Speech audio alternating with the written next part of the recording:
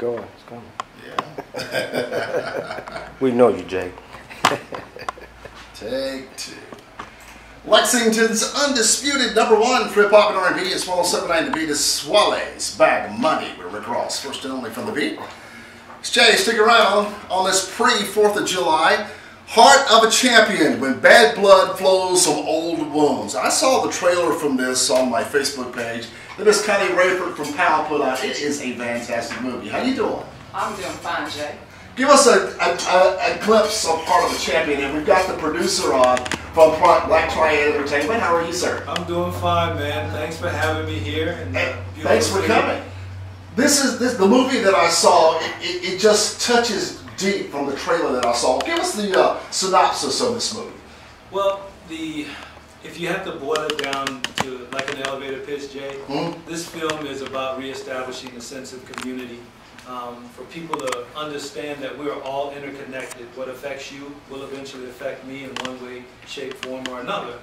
And there's got to be a going back to, you know, when we knew each other, when we cared about each other, when, you know, we looked out for each other. Right. And we even looked out for each other's kids.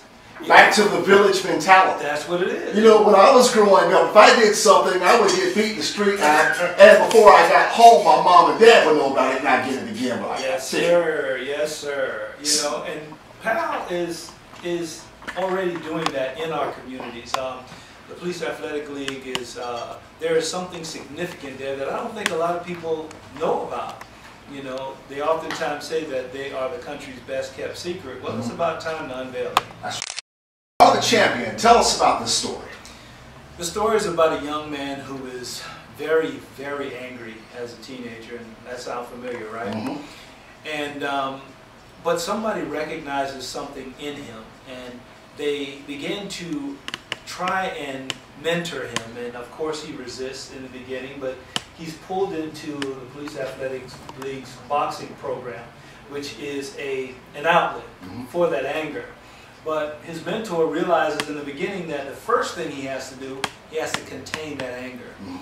And so this young man, in his uh, in his quest to be bad, uh, whatever he hits, he breaks. He's a natural southpaw. Cappy uh, switches him to conventional style boxing so that you know the combinations now don't come second nature. He's a bit confused, but then he does one other thing that you know really helps to drive the lesson home. The combinations he teaches this young man, he he he links them to biblical scriptures. Mhm. So here you have a young man that's in the Cappy is on the ring apron calling out passages of scripture, and he's quoting these scriptures, and the scriptures actually represent combinations. Wow. Now, in the beginning, he thinks that it's random, Mhm. but as the story progresses and his life goes from better to worse and then back again, he gets the life lesson that these, these, these scriptures now make sense. They come together and he gets that life lesson. And um, sometimes it takes us going that distance to learn. Yeah, you have to hit bottom before you can bounce back up. Yes, sir. Yes, sir. Heart of the champion when bad blood flows from old wounds. This is based on a true story, right? Yes, it is. Yes, it is. Um, based loosely on the uh, the life of my brother. Uh, he was that kid.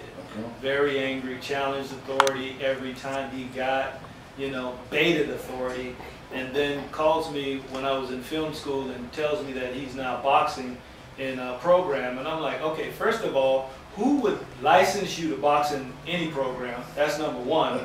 And then he says, well, it's PAL's program. And I had to pause for a minute, Jay. I'm like, um, you do understand what PAL stands for, right?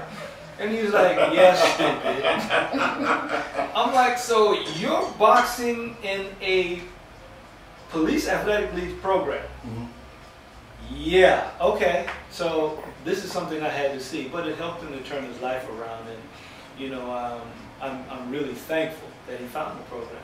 This is slated to for a limited release in 1,900 theaters nationwide, and we're trying to raise some money to get. Some, is that correct?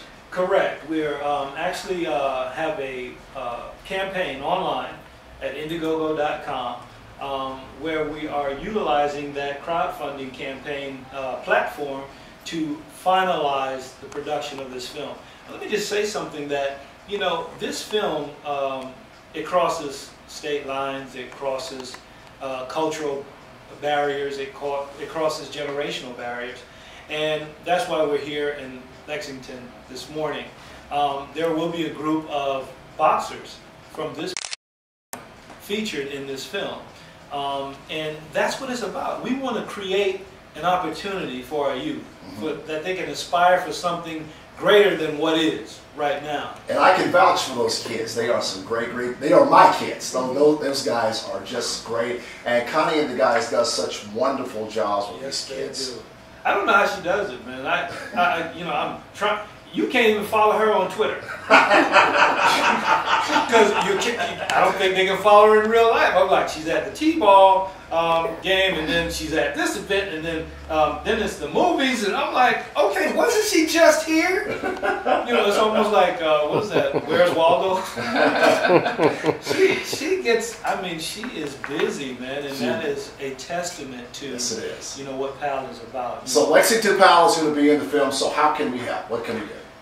We we need you to get involved um, both online, um, in the uh, in the campaign on Facebook. Spread the word because here's the thing: if this film goes viral even before it's released, the benefit is not just to those who produce it, but the benefit is to PAL because a portion of the proceeds will continually feed, feed that program for the life of the film. And I don't know how many people know anything about film, but film are perpetual. Yes. They live forever, Yes. even after we're gone. Give us that website again, please. You can go to www.heartofachampionmovie.com and you can, uh, .net, I'm sorry, heartofachampionmovie.net and you can access every one of the links from there. That's heartofachampionmovie.net and you can access every link from right there. You can go to the campaign from there. Um, you can access our uh, trailer, the documentary. Everything is accessible through there. Connie, what's coming out for PAL here in Lexington? Oh, you know, we are always busy, Jay. Right now, we have, uh, as mentioned, we have T-ball going on. We have, um, we have basketball. Actually, we're going to be traveling. Uh, Austin Washington, as you're familiar with, he'll be taking a group of kids uh, to Atlanta uh, next week for a basketball tournament. And I believe at the end of the month, we're going to be taking those same girls to a tournament in New Orleans. So uh, those kids are getting exposed, and you know the opportunities we like to give young people uh, that makes a difference and are very tangible in their lives. We need to get involved with this film. I'm going to put the uh, trailer up on our Facebook page and the 1079B Facebook page. Connie, if you can go ahead and tag us up on that so you can take a look at the trailer for this. It is, if you sit back and just look at the trailer, it just grabs you. Well, thank you. It, it, it just grabs you. And we want to get involved. www.heartofachampion.net. Yes. Uh, where you get on it and see the trailer and donate. We're going to help him out. We're going to get this worldwide. That's what. That's the motivation. Richard Fitzpatrick. He is the writer, producer, and the actor of Heart of the Champion. Thank you so much for coming in. Thanks for having us. Anytime. All right, stick around. More is coming out from the beat of Lexington. We are 1079 The Beat.